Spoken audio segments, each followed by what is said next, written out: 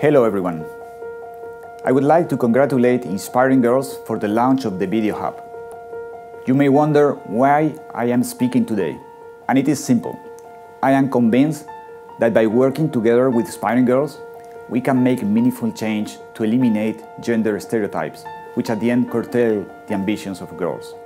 We should aim to live in a society where girls, like you, can dream big.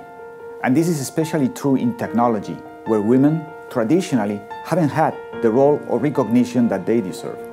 Some of you may not know that one of the first computer programmers in the world was a woman, Ada Lovelace. That one of the founders of the basic coding language was a woman, Sister Mary Kenneth. That the person who introduced computers to NASA and calculated the trajectory of the Apollo 11 to the moon was a woman, Katherine Johnson. That an actress helped invent the system that gave way to Wi-Fi, Bluetooth, and GPS, Hedy. Or that every time you use Google Maps or any app with GPS is thanks to the work of a woman, Gladys Mae West. These are just some examples of extraordinary leaders whose contribution to technology was a breakthrough and yet often went unrecognized. Society needs more examples like this, more women in leadership that serve as role models to you. The Inspiring Girls Hub is a great example of an innovative digital platform to address the specific issue of a lack of diverse role models for girls. And we are very happy to contribute. At Telefonica, we have ambitious targets to ensure a greater number of women in management roles by 2020.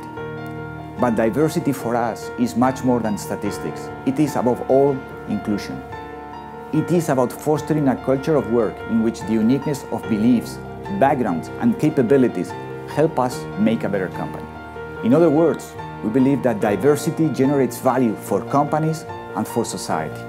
We firmly believe that people give purpose to technology and not the other way around.